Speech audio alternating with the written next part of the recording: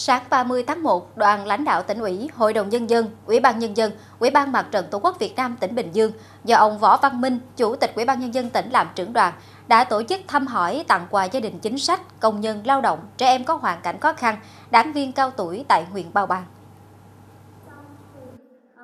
Tại Trung tâm Chính trị huyện Bào Bàng, đoàn đã thăm hỏi và tặng quà cho 150 các đối tượng là người nghèo, đảng viên cao tuổi, công nhân lao động và trẻ em có hoàn cảnh đặc biệt khó khăn. Mỗi phần quà trị giá 1 triệu 500 ngàn đồng.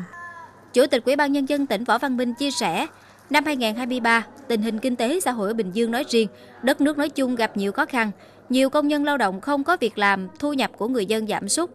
Phát huy truyền thống tương thân tương ái của dân tộc, tỉnh Bình Dương đã huy động nguồn lực và tổ chức chương trình trao tặng quà, mong chia sẻ phần nào khó khăn với các cá nhân gia đình. Nhân đây, Chủ tịch tỉnh gửi đến các gia đình chính sách đảng viên cao tuổi, công nhân lao động và các em nhỏ lời chúc sức khỏe, chúc mọi người đón một cái Tết đầm ấm bình an. Tiếp đến, đoàn lãnh đạo tỉnh Bình Dương đến thăm và tặng quà cho gia đình có công với cách mạng. Ông Nguyễn Trí Thức ở ấp Bà Tứ, xã Trừ Văn Thố, huyện Bào Bàng.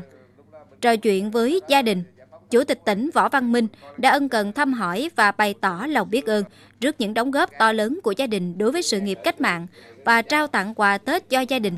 Chúc gia đình ông Thức luôn dồi dào sức khỏe, đón năm mới thật nhiều niềm vui, đầm ấm và hạnh phúc.